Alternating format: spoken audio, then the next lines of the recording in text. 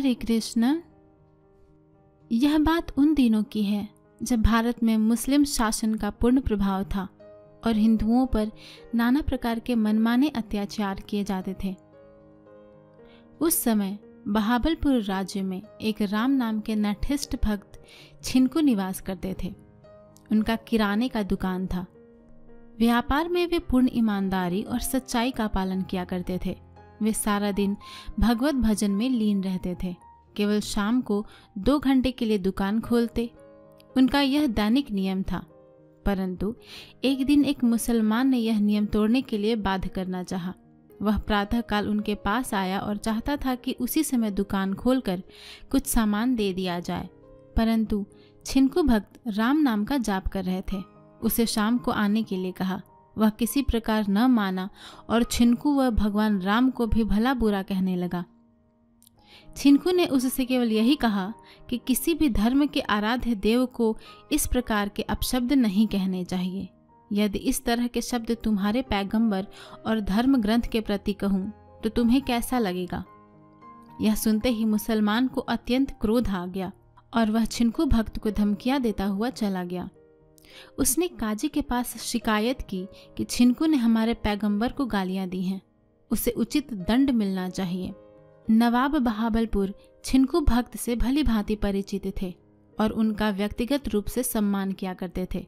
नवाब ने छिनकू भक्त को यह कहलवा भेज दिया कि उसके ऊपर लगाए गए अभियोग को वह बिल्कुल स्वीकार न करें। परंतु छिनकू भक्त के जीवन में असत्य भाषण का कोई स्थान नहीं था। उन्होंने जो शब्द उस मुसलमान को कहे थे, वही शब्द अदालत में दोहरा दिए। काजी ने उन्हें संगसार का दंड दिया। इस दंड का अभिप्राय यह था कि आते जाते व्यक्ति उन्हें पत्थर मारते रहें, जब तक कि उनका शरीरांत न हो जाए। एक खंभे में बांधकर लोग उन्हें पत्थर मारने लगे। सारे शरीर में घाव ही घाव हो गए और रक्त की धारा बहने लगी। परंतु छिनकू भक्त का श्री राम नाम का उच्चारण बंद नहीं हुआ।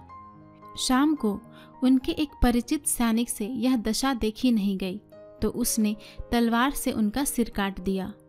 लोगों ने आश्चर्य से देखा कि छिनकू के कटे हुए सिर से तो श्री राम नाम की ध्वनि हो ही रही थी। काफ़ी देर तक निचले धड़ के भाग से भी श्री राम नाम की ध्वनि निकलती रही।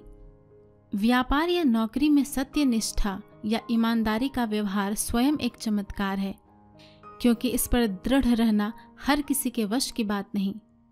महाभारत में वर्णित कथा के अनुसार तुलाधार नाम के एक बिना पढ़े लिखे, परंतु ईमानदार व्यापारी को बिना किसी मंत्र जप किए ऐसी अद्भुत सिद्धियाँ प्राप्त हुई थीं कि उसने मुदगल ऋषि को उनकी साधना की समस्त गुप्त गतिविधियों की सूचना देकर चकित कर दिया था। सत्य निष्ठा को महर्षि पतंजलि ने योग दर्शन में एक सिद्धि स्वीकार किया है और यह माना है कि सत्य के पालन से ही उतना आत्मिक बल अर्जित किया जा सकता है। वह व्यक्ति अद्भुत कार्य करने की क्षमता वाला है। साधक की शक्ति का परिचय इस तथ्य से जाना जा सकता है कि वह कितने अंशों में निर्भय है। शक्तिहीन सदैव भयभीत रहता है।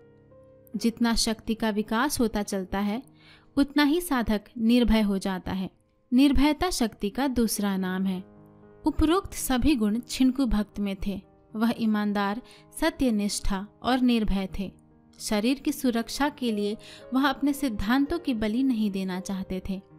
न ही उन्हें अपने शरीर से कोई मोह था। अत्यंत भीषण कष्ट में भी वह अपने प्रभु का नामास्मरण करते रहे। इस घटना का मूल्यांकन किसी भी बड़े चमत्कार से कम नहीं माना जा सकता है।